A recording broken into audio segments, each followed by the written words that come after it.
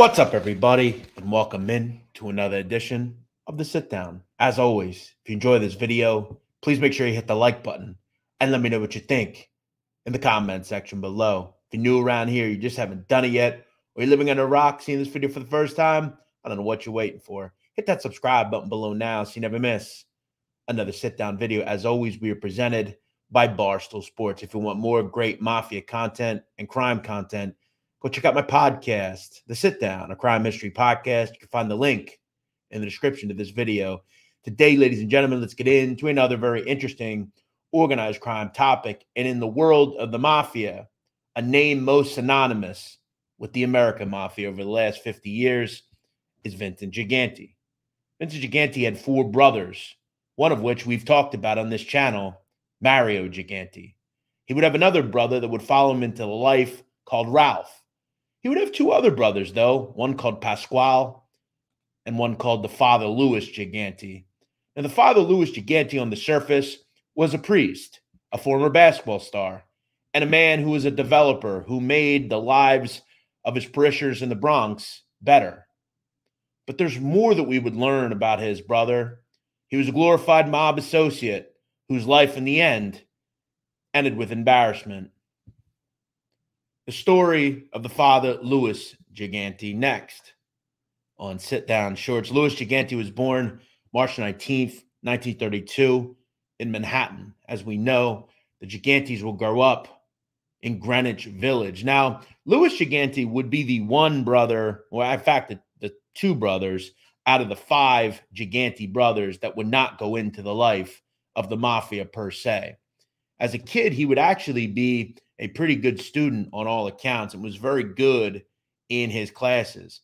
By his high school years, he would actually attend Cardinal Hayes High School in the Bronx on the Grand Concourse. Now, for Louis Gigante, it was not just school that he was good at, he would also excel at basketball. In 1949, Louis Gigante would actually lead the Cardinal Hayes boys basketball team to a Catholic League City Championship. He was a very accomplished point guard, and that would earn him an athletic scholarship to Georgetown University. Now, during his time at Georgetown and on the basketball team, his team would never actually get to the NCAA tournament. Other than one year, they would actually get to the NIT, which is uh, the level of tournament just below the NCAA tournament, where they would bow out in the first round. In four years, he would average just over nine points a game and was said to be a very skilled passer and leader and was the captain of the team. Upon his graduation from Georgetown, the father, Louis Gigante, would go to the St.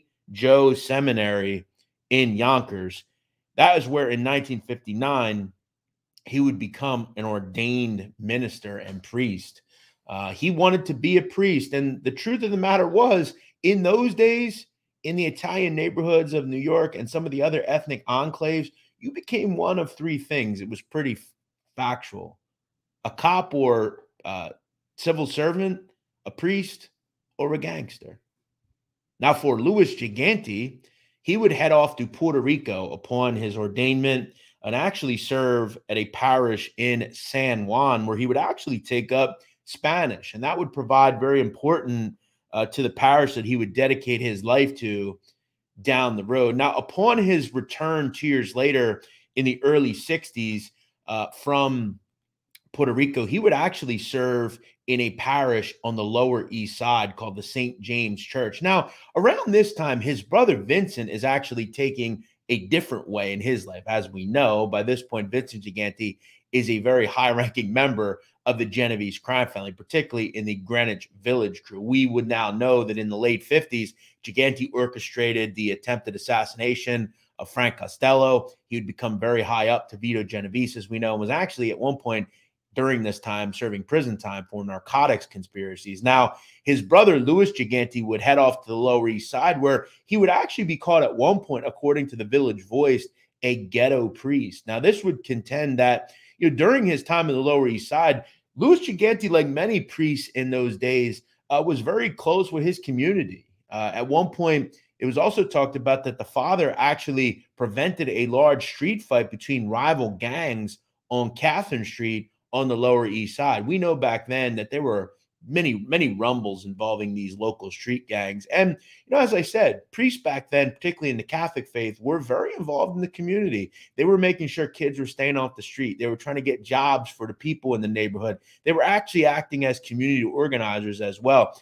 And I liken it really if you've ever seen the film Sleepers, uh, the character that De Niro plays, Father Bobby, he acts as a really quasi father figure to the four kids in the sh- in the film. He, you know, would know them throughout their whole life. He would act getting them jobs, trying to keep them off the street, getting them different tasks that they can complete so they're not on the street.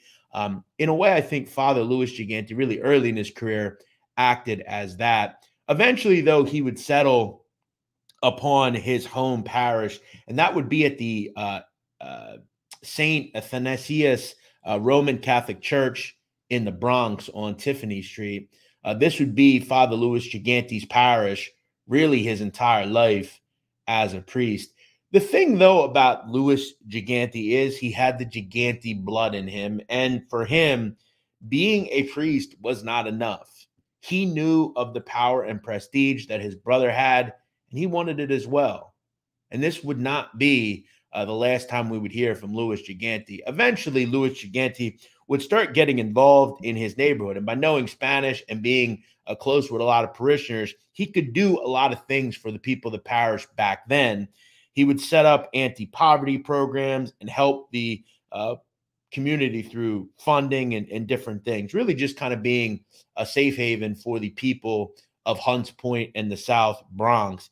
Um, at one point, though, he would, by the late 60s, take up becoming a politician. He wanted that power and prestige. He would lose initially. And in fact, in one situation, Mr. Gigante would get into a sparring match, literally and figuratively, with his opponent, Ramon Velez. At one point, Louis Gigante would, would essentially say that Velez was a um, a slum landlord, a, a, real bad individual, and he should not have any um, involvement in the prestige of the community, to which Velez would respond by calling Mr. Gigante, quote, a maricon. Now, um, if you don't speak Spanish, that basically is referring to the fact that he said that Gigante was a homosexual. Now, again, it was probably just a barb, if you will, but this would allow uh, Velez basically be socked in the face by uh, Mr. Gigante. So even though he was a priest, he was willing to do what he had to do he would ultimately win a city council race uh, and continue to try to uh, make bids for higher office in the mid 70s. He wanted that power like his brother had in the Genovese crime family. By this point, in the early 70s, Vincent Gigante was a very high ranking member of the Genovese crime family. And by the early 80s, he was the boss of the Genovese crime family. I also want to kind of highlight some of the connections that Louis Gigante had to the mob world. I don't care how you spin it. Louis Gigante was a mob associate. It's that simple. Okay. And I'll explain why here in just a second. It was interesting. In 1977, Louis Gigante would actually serve prison time about a week after he failed to talk to the courts in a case involving James Jimmy Nap Napoli. Now, Jimmy Nap is a huge earner and member of the Genovese crime family. It was said that at one point in 1974, uh, the father, Louis Gigante, was actually uh, ferrying Mr. Napoli uh, goods and different things while he was in prison, trying to protect him in a way. And that is illegal. You cannot give contraband to uh, inmates. Now, uh, the higher powers that be wanted to talk to Mr. Gigante, and he decided that he didn't want to talk. So uh, they sent him to prison for a period of time upon release and throughout his life he would rail against people that talked about the mafia he would claim that it didn't exist and it was an anti-italian thing um, so mr gigante had a lot of ties to uh, the mafia. Uh, it was though something though that he decided though that he wanted to do was become a developer. And by the early 70s uh, he would become just that. He wanted to take over the south bronx and really transform it into a place where his congregation and parishioners uh, could live better lives. At one point, he would say about his rejuvenation of the Bronx I brought the neighborhood up from ashes to help the people in the South Bronx. There isn't one other organization that can take credit. And essentially, what Mr. Gigante did, the father did, was he would create low income housing developments uh, for um, parishioners. He would create a company called SEBCO, the Southeast Bronx Community Organization, which and in essence was funding uh, the creation of housing projects for Section 8 residents through federal funds. Um, the thing that, though, Louis Gigante was also doing was through these federally funded housing projects, he was lining the pockets of the mafia. Louis Gigante realized that he could steer tens of millions of construction contracts uh, to mobsters. So, was he doing good things? Yes. But we'll find out later that he really wasn't doing that many good things and that he was just building faulty apartment buildings and lining the pockets of his brother's people. Because in the end, most of the people he was dealing with, dealing with, guess who they were kicking up to? His brother Vincent Gigante. So in essence, he is one of the wheels that's turning the Genovese crime family and knows what made them into such a huge organization in the 80s and 90s. One of the chief people that Louis Gigante was dealing with directly was Vincent DiNapoli. Now, if you know anything about Vincent DiNapoli, he is a construction magnate, if you will, owned all sorts of different companies, including two different drywall companies. Now, by this point uh, in the late 70s, he is a convicted felon. Uh, but for the first three years of both drywall businesses that he had, Mr. DiNapoli uh, secured $25 million in federally financed contracts for drywall work. He handled the drywall, and all the money that he's making is in turn going back to the Genovese crime family. Vincent DiNapoli was a very accomplished earner and a big time magnet for the Genovese crime family. Now, ultimately, in 1983, Vincent DiNapoli would go to prison for his behavior, but that would not stop the money from turning. We would find out as well that famed Lucchese underboss and who's now serving a life sentence for the murder allegedly of Michael Meldish. Stephen Crea was actually, eh, when he first got involved in the mafia, was very connected to Vincent DiNapoli. At one point, being called a protege of Mr. DiNapoli. It was said that in the early 80s, uh, to continue the contracts and the work, uh, Mr. Crea would allegedly visit Mr. DiNapoli 35 different times uh, in FCI Danbury in Connecticut. So what was clear was the work continued. DiNapoli might have been away, but Crea continued all this construction. He was also very close to the father, Louis Gigante. In fact, in 1985, uh, Mr. Crea was actually convicted uh, of conspiracy to kill a man who he alleged assaulted his wife uh, Mr. Gigante would write a letter to the judge in that case, basically calling Mr. Crea an upstanding individual, a great friend. He was being persecuted. And in fact, in 1987, whether it helped or hurt Mr. Crea, in 1987, Mr. Crea's conviction was actually overturned and Mr. Crea headed back out on the streets. It was also said that uh, Mr. Gigante did a lot of work through construction with Genovese heavyweight in unions Louis Moscatiello. So what we're finding out here is, okay, while Louis Gigante is a priest and a political man, he also wants prestige and money, and he wants to create uh, an ability for him to live the life of luxury and have that prestige and power that his brother had. And guess what?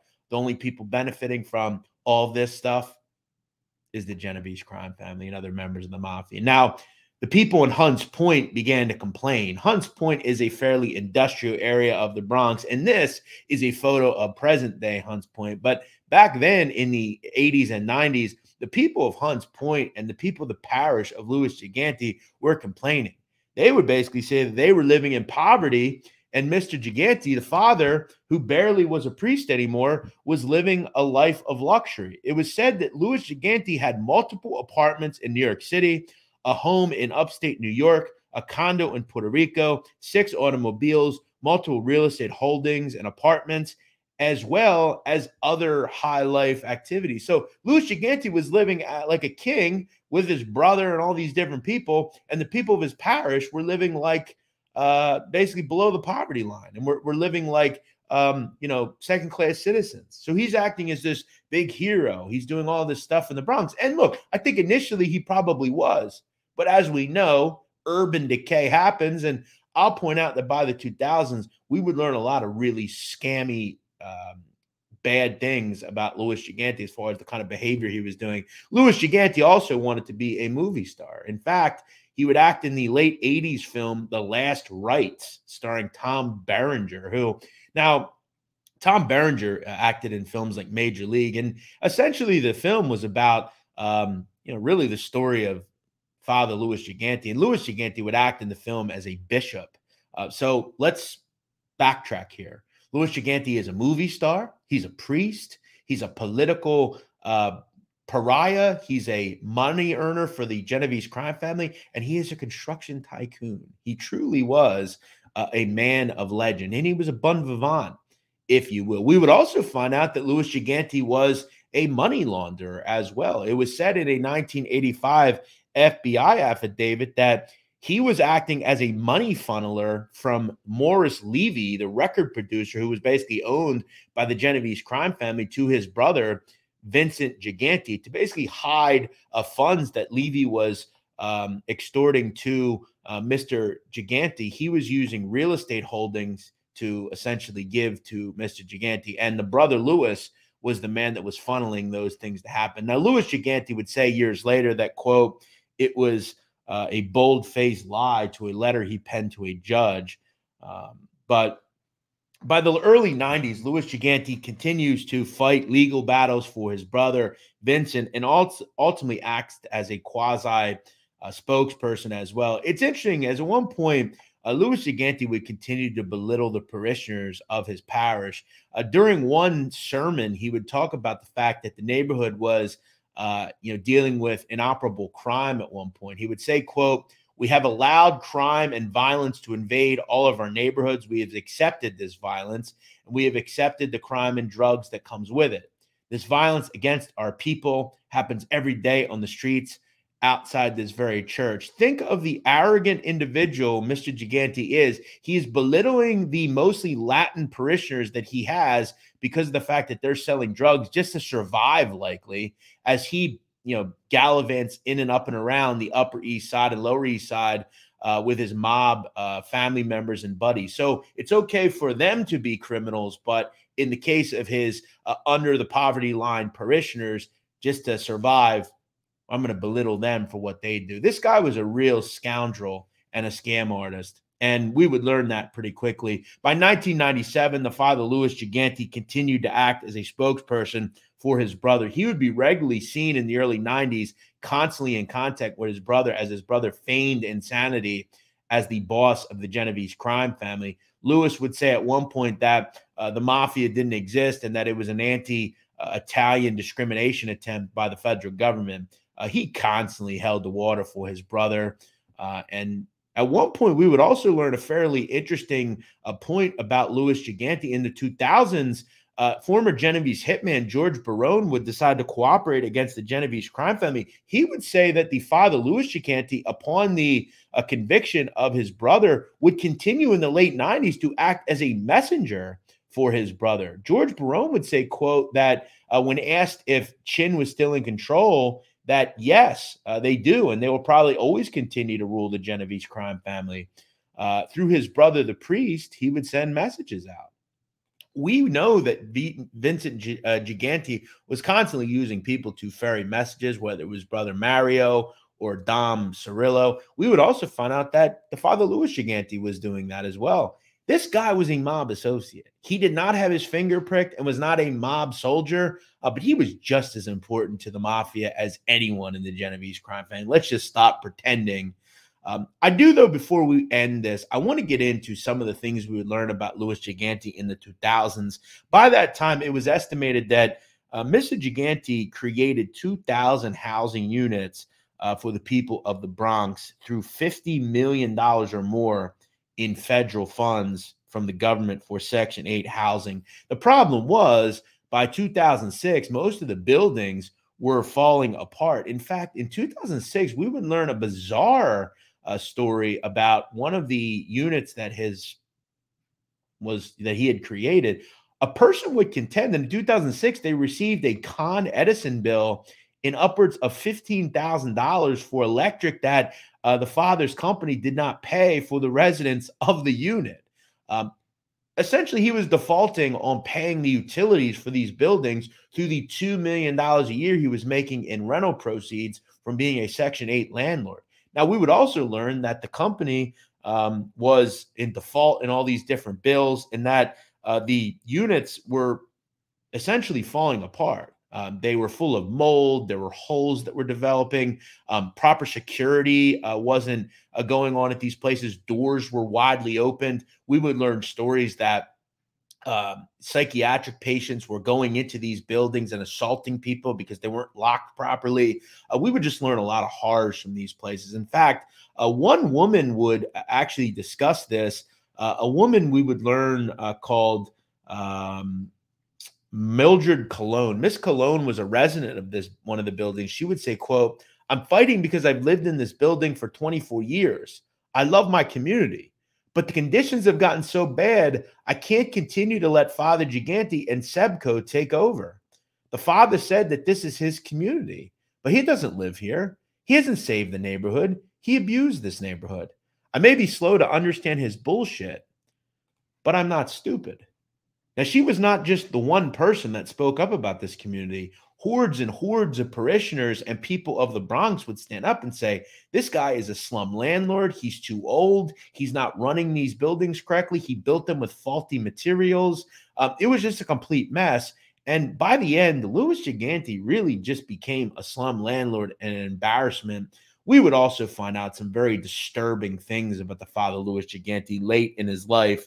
In 2021, according to a blog written by Jerry Capeci at Gangland News, uh, and by other publications. In his late 80s, two individuals in their 50s would accuse Mr. Gigante of in 1976 and 1977 of SA. Um, now, I'm not going to discuss what SA is. You can kind of probably understand through what I'm about to talk about. At his parish at the time, Mr. Gigante was in charge of Bible studies. Now, one male and one female would basically essentially say that uh, the father Louis um, abused them uh, as children.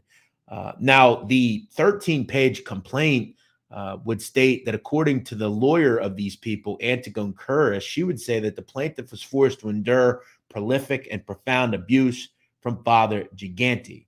He would find ways to get plaintiff alone after Bible study and repeatedly abused him, the attorney wrote.